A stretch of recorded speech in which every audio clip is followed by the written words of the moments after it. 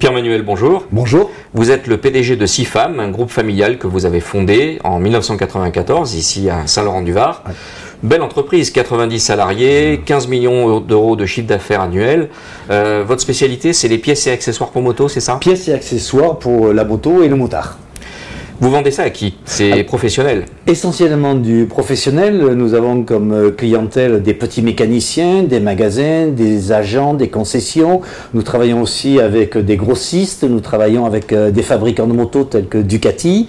Et on sert aussi euh, la distribution Internet du type Motoboost ou autre. Donc les grands acteurs d'Internet dans la spécificité de la moto.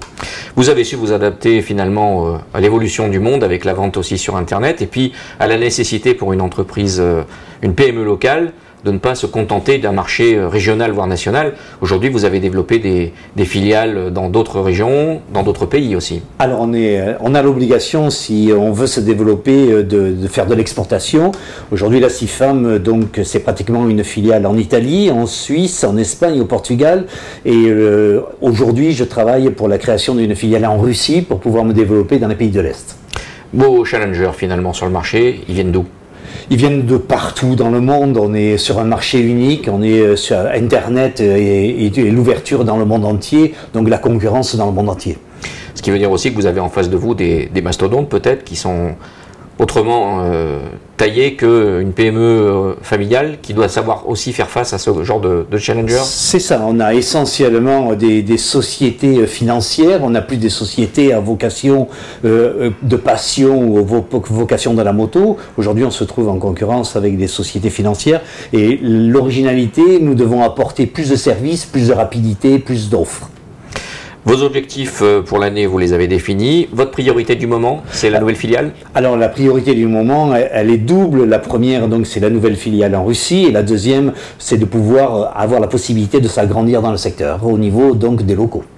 Vous avez déjà l'expérience de vous exporter sur les marchés étrangers, mais ouvrir aujourd'hui une filiale en Russie, c'est compliqué quand on est une PME locale? Tout est compliqué, c'est une question de volonté, c'est de trouver les bons partenaires au bon moment, au bon endroit. Vous êtes également donc euh, dirigeant d'une entreprise qui est implantée ici sur le parc de Saint-Laurent-du-Var. Vous êtes adhérent du club des entreprises. Oui. Il était efficace ce club? Il est efficace. Euh, malheureusement, euh, je n'ai pas euh, beaucoup de temps à y consacrer, mais il est efficace et il doit être efficace. Il doit être un lieu d'échange, un lieu de rassemblement et un lieu de, connaissance entre les différents, les différents chefs d'entreprise. Vos souhaits pour l'évolution de la zone d'activité? Ah, Mes souhaits pour l'évolution de l'activité, donc c'est trois sortes de souhaits. D'abord, la création d'un parking à l'entrée de la zone pour que les les ouvriers puissent se garer d'une manière euh, facile. La deuxième, c'est de pouvoir euh, donner la possibilité à ces ouvriers d'avoir un vélo bleu et des pistes cyclables pour venir jusqu'à l'entreprise. Et je dirais, le troisième souhait, euh, c'est qu'on nous fasse le pont entre la rive droite et la rive gauche du Var.